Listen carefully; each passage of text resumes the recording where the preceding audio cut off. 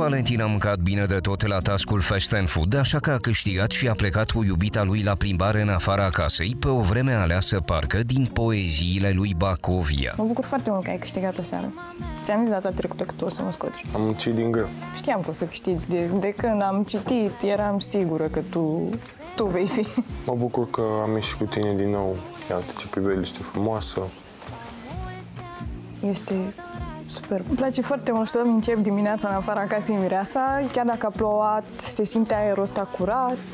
Nu știu, e, e totul bine. Pentru mine această oportunitate să-mi beau cafeaua alături de Elena în casa mea, asta este una senzațională. Am patru luni aici și simt că orice ieșire în afara casei este foarte importantă pentru noi. Și s-au bucurat unul de altul, profitând de liniștea din jur pentru a mai clarifica niște aspecte ale relației lor. În moment de față mai ai dubii de mine?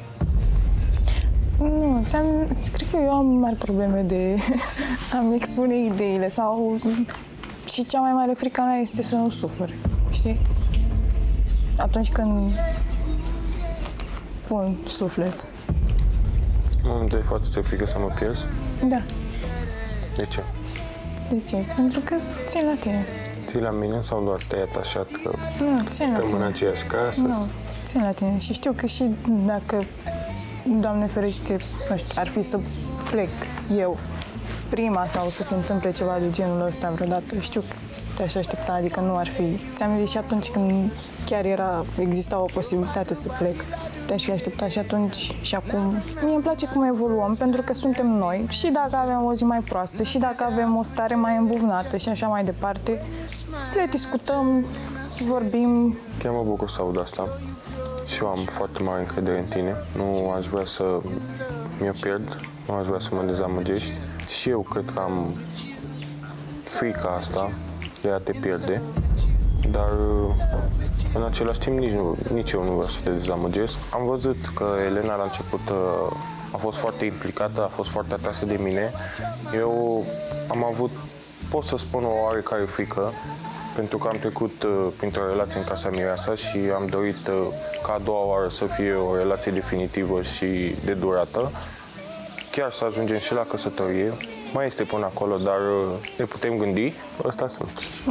Asta sunt, asta și eu și asta și eu. Și te-am văzut și mai văzut și ne asemănăm în multe puncte de vedere. În fine, mai avem nevoie de să ne mai întărim, să ne mai... Dar pe tine ce te-ar putea dezamăgi? Care ar fi limita aia pe care nu ai accepta-o, lăsând, mă refer în casă, lăsând înșelatul la o parte și toate lucrurile astea. Poate să te simți că ești mai rece, să-mi dau seama că sunt alte motive decât pe care mi le spune dacă te-aș întreba. Că nu cred că te-ai uitat după altcineva, adică și eu sunt gelos, ca să știi. Nu mă duc la foarte ridicat, dar uh, și eu am momentele mele și eu simt și dacă te-ai distanța, cred că mi-aș da seama și te-aș întreba. Te-aș simți dacă mă minți sau nu. Îmi inspiră încredere, uh, îmi inspiră putere. Simt că este femeia potrivită pentru mine. Nu ți frică de chestia asta, că nu să poți să ascunzi nimic de mine.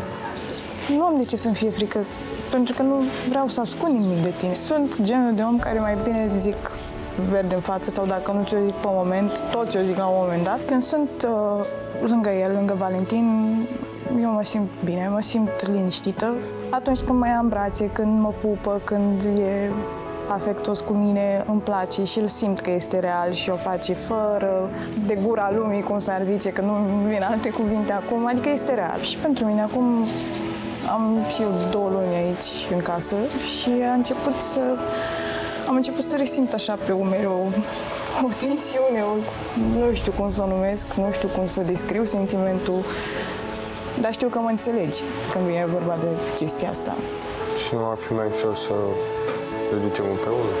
Bă, totul e mai ușor în doi. Tot ce s-a întâmplat în ultima perioadă nu cred că ne-a afectat neapărat relația, cred că mai mult ne-a întărit. Am văzut anumite calități în el pe care nu avusesem ocazia să le văd înainte. Îmi plac reacțiile lui.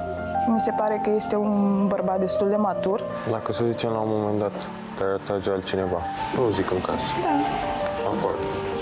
mi-ai spune? Dacă m-ar atrage altcineva mai mult decât mă atragi tu, înseamnă că nu ești tu și da, și face ca să nu... De ce să fac alte prostii sau ceva de genul când și să poate să suferi și tu, să suferi și eu sau așa. Dar dacă ar fi invers, Da, ți-o spune și aș spune punct. Simt că ține la mine, simt că dorește să clădim ceva frumos. Am simțit-o aproape și la ultimul conflict și a fost lângă mine și mi-a dat putere și pe de altă parte și eu am uh, ținut în foarte multe momente să fiu alături de ea, chiar și când nu eram împreună, pentru că am simțit că nu-mi doresc să o pierd. Am spus eu, până acum nu am înșelat. Când sunt singur, sunt diferit, pot să mă distrez, pot să umblu, pot să fac mai multe chestii. să umbli.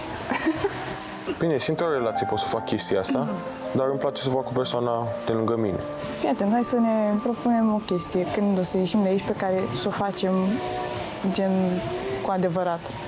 Ți-ar plăcea să zbori cu parapanta? Da, Și mie. Să facem lucrul ăsta împreună la un moment dat când ieșim. dar mi-ar plăcea să merg cu balon. Și asta. Eu am intrat în casă fără nicio așteptare. Nu mă așteptam să găsesc pe cineva. Relația cu Valentin cred că o simt că evoluează și știu sigur că va fi o relație serioasă și vom fi și peste ani. Mai vrea să îmbunătățești ceva la mine? Sau Uneori, ce nu-ți place la mine și accepti în momentul de uneori față? și, și eu sunt încăpățânată și tu ești încăpățânat și asta ar fi de îmbunătățit la amândoi. Sunt dispusă să renunț la toată încăpățânarea pentru binele nostru. Încăpățânarea este un minus pentru mine, cât și pentru ea și sunt dispus să mai renunț la ea pentru relația noastră, de dragul nostru, pentru că nu am dorit să stricăm ceva frumos doar pentru un motiv banal. Ai văzut cum a fost discuția mea cu doamna Floarea? Da. Cu... Ei, așa, așa ești tu uneori. Dar ce părere ai de ea? Mi-mi place ideea. Din punctul meu de vedere, următorul pas ar fi să ieșim bine și fericiți de aici, să ne cunoaștem părinții. Părinții tăi ce crezi că ar zice de mine? Păi, uh, ai văzut ce mi-a zis mama? Că ne susține. Odată ce mi-a scris de tine și așa, te place. Și Sorin, taică meu, e cu fotbal, e de viață, e de gașcă. Adică, Crezi că m-aș sigur o să... înțelege cu ei? Da. Nu știu exact dacă o să simțim să facem următorul pas aici. Vorbesc atât despre mine cât și despre el. Acum când o să ajungem în casă, o să intrăm așa cu o energie nouă, cu Ne-am încărcat pozitiv Tragem aer în piept, aer de ăsta curat. și mergem acasă. Mai stăm puțin. Dacă mai avem nevoie de cunoaștere și să ne înțelegem și să știm mai multe unul despre celălalt și să simțim mai mult, atunci nu este nicio grabă aici. Bine. Da, acum mergem. Dar dacă vom simți, cred că se va îndrepta într-acolo. E bine.